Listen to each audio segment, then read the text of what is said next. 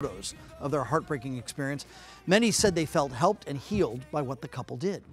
So I don't know if all of that prompted all of this. A very big article that was posted overnight and is in the print edition of the New York Times as well from Meghan Markle.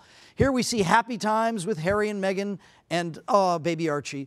And as we learn from this very heartfelt article, Archie was going to have a sibling. A new baby was on the way until, as Meghan details here, she miscarried. This is the article bylined by Meghan, the Duchess of Sussex, and she writes of the losses we share and of her specific loss. She says she was essentially playing with Archie when she felt a sharp cramp. I dropped to the floor with him in my arms, humming a lullaby to keep us both calm, the cheerful tune a stark contrast to my sense that something was not right.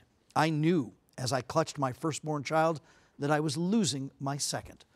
Meghan details her initial fear of being unable to heal herself and her family.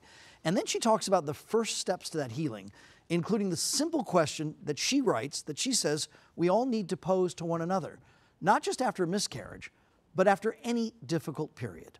She writes So this Thanksgiving, as we plan for a holiday unlike any before, many of us separated from our loved ones, alone, sick, scared, divided, and perhaps struggling to find something, anything to be grateful for, let us commit to asking others, Are you okay?